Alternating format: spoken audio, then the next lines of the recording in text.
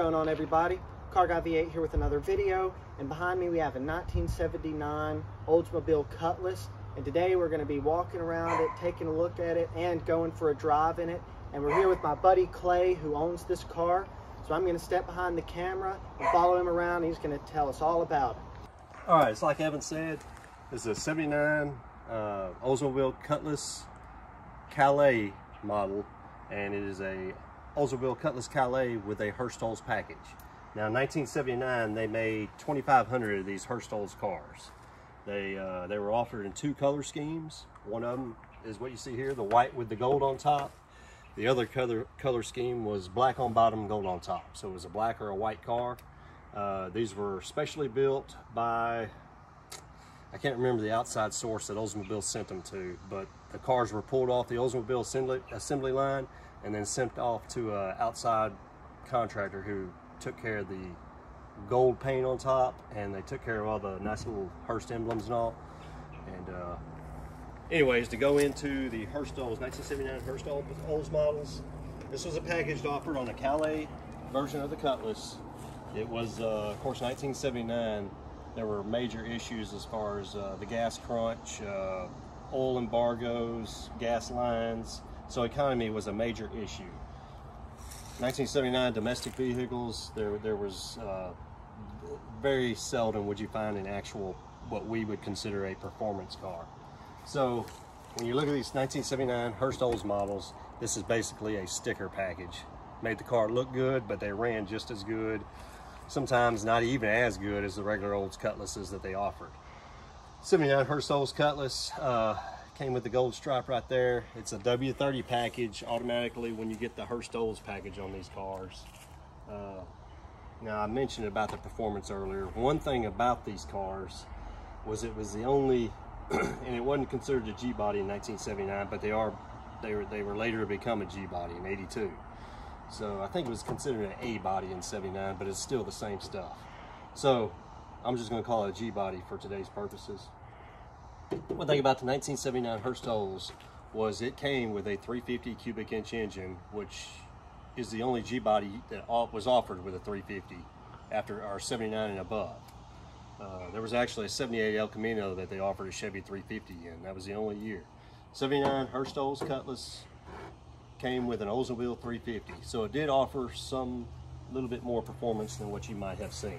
But I'm gonna point out again, it's got the W30 sticker it's got uh, these Hurst medallions on the side. And uh, if I'm not mistaken, I think these cars came with another HO emblem on the rear truck. But uh, this, this area right here was painted a gold color. This was white. And you can still kind of see the basic layout of the color scheme on these cars. But the most interesting thing these cars came with was uh, 1979, they actually came with a Hurst dual gate shifter. They came with a turbo 350, so it was a three speed automatic, but it came with, I can't remember if they called them a his or her dual gate. I think they're all underneath the same thing, but it was a Hurst Olds shifter. And of course, I've done away with it on this car because I've got an overdrive transmission. But it was a slick little uh, setup. It had a little gate that you that you moved over to if you wanted to pop that sucker in manual. And it was a really nice little factory setup from Hurst from Hurst shifters, Hurst transmissions, Hurst aftermarket shifters. Uh, as far as uh, anything else these cars came with, I think that was basically it. So for the most part, it was just a sticker package, and an image. It was more image than it was actual performance. However, they did. It was the Calais, which was the Oldsmobile's performance model of the Cutlass. Of course, they offered Cutlass Supreme, a Cutlass Supreme Brougham, Cutlass Calais, which was the sportier model, bucket seats were included, center console, heavier duty suspension, and uh, the W30 package actually includes what they call the F41 suspension, which is a little bit more heavy duty, better handling, a better ride. So that, that's pretty much what these cars entailed. And like I say, there were 2,500 of them made.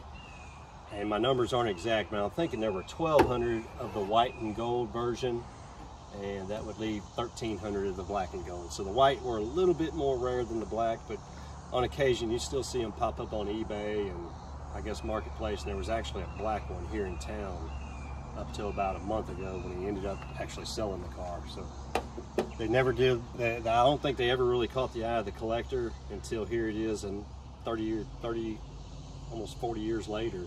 It is 40, isn't it? Yeah, it's over 40 years. Now collectors are starting to kind of pay attention to them. So it's a neat car. I've gone through the process of uh, doing an LS swap on this car. When I got the car, the guy was drag racing it. He had run a uh, small block Chevy in, a big block Chevy. He had gutted the car. Uh, so I just took it from there. I had a LS setup I was wanting to swap over, so I did the LS swap on this car. So it's like I told you before, I'm still running the 4L60 on this LS swap. And we're going to do, I'm, I'm gonna show them my swap. Show them, show what all I got in the swap. This is just a bone stock 4.8 out of a Chevy 06 model Chevy Silverado. This is a budget build. This was done very low cost. And uh, just take a look at it. It's a 4.8 out of a 06 model Chevrolet. The only the only uh, enhancements it's ha it has are the exhaust. I ran I run headers on it with a true full dual exhaust on it. Uh, it's got a good little tune on it. Of course, it's got a little bit freer flowing intake. I'm running factory cam. I'm running factory injectors. Uh, it's the 06, so it has the drive-by wire on the throttle setup. I'm running electric fan. Uh, but the little car, of course, it's a heck of a lot low, uh, lighter than the 06 Silverado. So the 285 horses, what it was, I believe it was rated at, maybe 295. It makes the car run pretty good. I mean, it feels good in this little car considering what it is, a bone stock 4.8. Anyways, the swap, as far as doing the swap on this G-body, it's been done thousands of times. You can find all kinds of people on on uh, YouTube who've done this swap. It's a very common swap. One thing about the G-bodies is you can put anything, any motor, it'll fit down in here and you can figure out a way to make it work.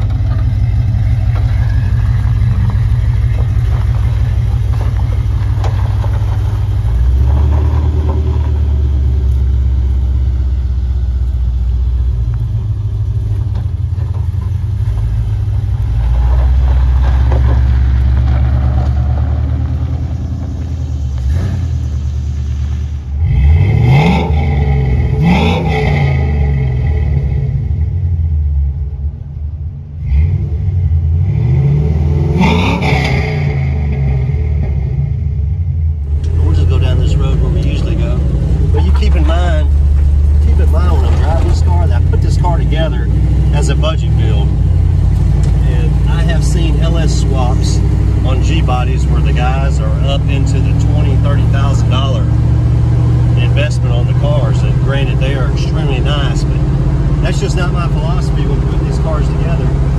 Uh, I just can't. I don't. I don't see spending that kind of money on them. And maybe I should, especially I need Hurst Olds version like this.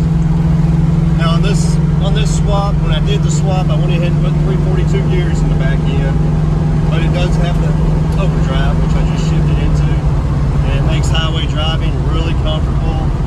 Uh, best I can tell, the car is getting an easy 20 miles to the gallon. I hadn't given it a dead check yet, but it might even be better than that. You can imagine a 4.8 in a lightweight car with an overdrive transmission. It does pretty good. And it also provides good performance, good off the line response, and I'll take. I get this thing turned around. I'll get, I'll get it from a dead stop See how it does. Give a good idea what it's doing. 4.8s. A lot of people love the 4.8s because they're less cubic inches. Of course, they're I think it's nine and a half compression on them, and a lot of your boost guys love to run the turbos and superchargers and all. They like the 4.8s because they're a little bit more robust. Uh, this is a 06 model 4.8, which was an interesting transition period for GM they were converting from the Gen, what they call the Gen 3 LS series to the Gen 4. And this is still a Gen 3 setup, even though it runs a throttle by wire, uh, but it has the Gen 4 internals, which is your heavier duty internals. That's your thicker rods, and I can't remember what else it is. But one thing about the 4.8, still running, here, I'll hit it from a dead stop.